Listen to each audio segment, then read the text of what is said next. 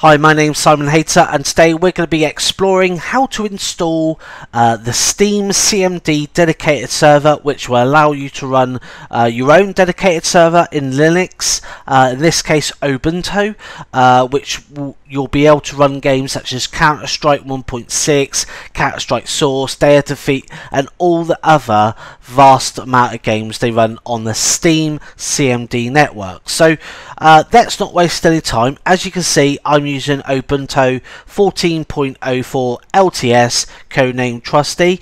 Um, it, this guide will work on 12.04, 11.04, uh, 10.04 I think and so on so it's it I'm going to label the video 14.04 but if you haven't got that version then this should work uh, as well. If it doesn't, let us know in the comment and I can adjust uh, what I say and uh, whatnot. So let's not waste any time. Let's jump straight in. So as you can see, I've logged into Ubuntu.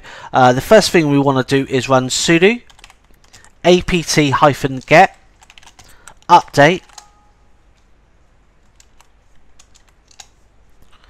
type in my password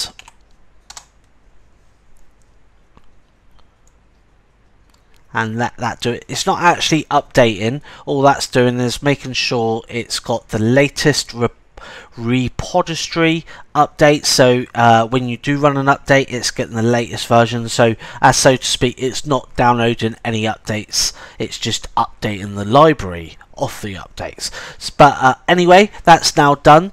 So the next command we want to do is uh, the reason I'm doing this is because I want to make sure that you've got uh, everything I'm doing. So I've done an upgrade previously, but by all means do this. Uh, sudo apt-get upgrade. So you might have a vast amount of upgrades to do. Uh, just let it go. Normally takes about five minutes. Now the next thing we need to install is a thing called lib32 GCC1 and another um, application called libc6 i386. Now, a lot of guides on the internet um, say to install ia32lib. Um, do not install that. There's absolutely no need. It, will just uh, bloat your um, Ubuntu up, so don't install that. All you need to do is sudo apt-get uh, install lib32 gcc1 and then space libc6 oh, libc6 underscore oh hyphen even i386 and what this does is allows us to run because the dedicated server um, supplied by Steam is actually 32-bit so with Ubuntu server it's 64-bit so uh, when you run the sh file later on you'll get an uh, it'll say uh, do, does not recognize or something like that. So if we install this we'll get rid of that error. So let's install those.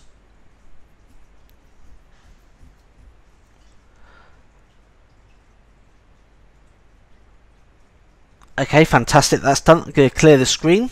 Keep it nice and tidy. Now the next thing we want to do is uh, sudo add user steam the reason we add a user is we don't really want to run um, Steam on a user within the sudo group which allows administration rights and we also don't want to do it on root so we're going to add a user I'm going to add a password you can even go one step further, I won't cover it in my guide, but you can also make sure that a Steam user can't log in via SSH and uh, FTP if need be. But anyway, so that's done. When it asks for the full name, you don't need to enter all that. Is this correct? Perfect. So that's added. Let's clear that screen. Now what we want to do is log in via that user. So SU Steam type in our password. Now, as you can see, uh, see, I'm still in the home directory of test, which is another user account, so I need to come out of that. Just do cd space uh, space dot dot. So we go upper level, do ls, we can see Steam. So cd Steam. Now what we want to do is make a folder. Um, so mkdir Steam CMD.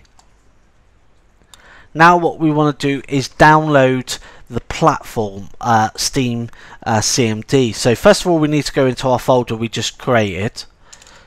So Steam CMD.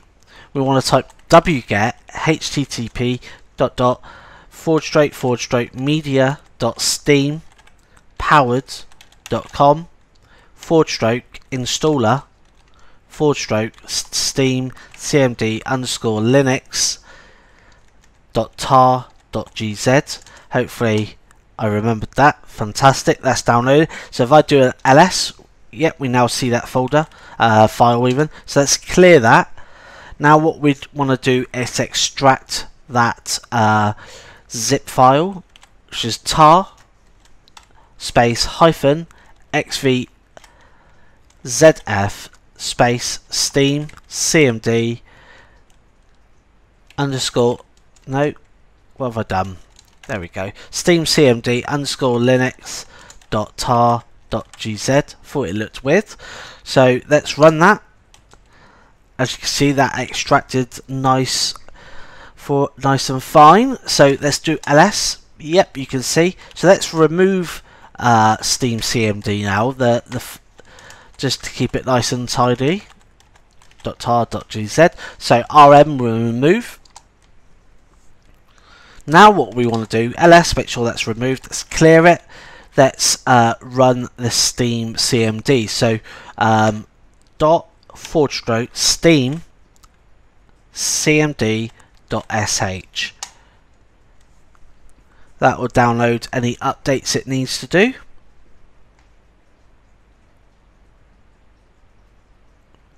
Okay, fantastic. Now you'll notice at the bottom here, it hasn't actually, um, it's now saying Steam. This is because we're now in the Steam CMD console.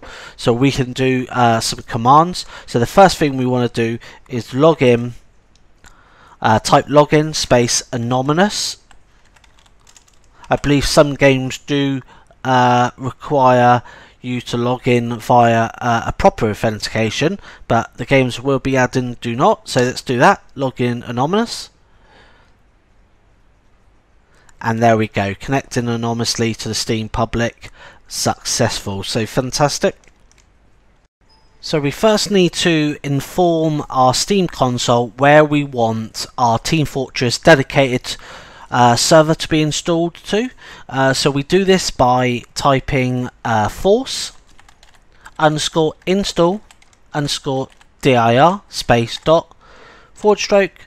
Now you can uh, name it anything you want. I'm just going to name it TF2. Don't forget the forward stroke and now now that we've told our console where we want it we now need to tell it to download it so let's download Team Fortress 2 dedicated server by doing app underscore update we then need to type in the ID of this which is 232250 and we're going to validate it as we download. As it's a fresh install which is recommended Just give it a few moments to find the files. There we go. I can roughly estimate that's 5 gigabytes it needs to download. Um, so that's going to take quite a while. If you are, if your server is in a data center, then it should be extremely quick. Um, I've only got about 80 megabits at home, so 5 gig will take about 10 minutes. I'm not going to let you wait, so I'm going to pause the video and resume it um, so you can, so you don't have to wait. So that's all done now. As you can see on my screen, I've downloaded the whole lot and it says success app fully installed. So what we need to do now is quit out of uh, the Steam console. Let's do a clear just to keep it nice and clean. Um, doing an ls, as you can see, our Team uh, Team Fortress 2 folders there. So let's go into it. Oh, do an ls. Let's go into TF, which is Team Fortress, ls it again, and I'll just show you this folder. This is where you can come back and set up uh, custom config. So if I do ls, you can see you can, uh, where it says default, just uh, rename that from, uh, so it's mapcycle.txt and the server will automatically pick it up. Also, if you make a, um, a server side, uh, sorry, a server.config, which is, don't need to do sudo, do pico server.cfg. If you actually make your own, uh, import your commands. Plenty of uh, help tutorials online how to make your own server.config. But if you make a server.cfg in this folder, um, it, when you execute the server, it will automatically pick that up. Same as message of the day. If you rename that uh, to motd.txt, um, you can rename it or just copy it like this. Uh, so motd. Uh, we're not doing the underscore default. Yes, we are because we're copying that, and we're going to name it. Uh, we need to name it .motd.txt. Let's edit that file quickly just to show you what's in there. So as you can see, uh, welcome to Team Fortress 2. You can name it whatever you want, whatever you want. So clan name, welcome to clan name, you're going to die, whatever. Exit that, save it. Now, if we come out of there, I'll just show you how to run the server. So the folder you want to be in is TF2, and the way we run the server is uh, dot forward stroke cr cds underscore run space hyphen game tf for Team Fortress plus let's do pure. Lots of tutorials online how to set up um, a cron or add it to the boot up so it does this automatically for you. But to be honest good VPSs and dedicated servers they don't need to be rebooted a lot so this may be uh, good enough for you. You can run it using uh, screen 2fort.bsp so we're specifying the map here. You, you, can also miss that out and it'll use this map cycle uh, but however you do need to get rid of the default as I've mentioned. So uh, back to where we were. So uh, we specify the map. We want to specify the players so max players. Let's put 24 and hopefully we don't get any errors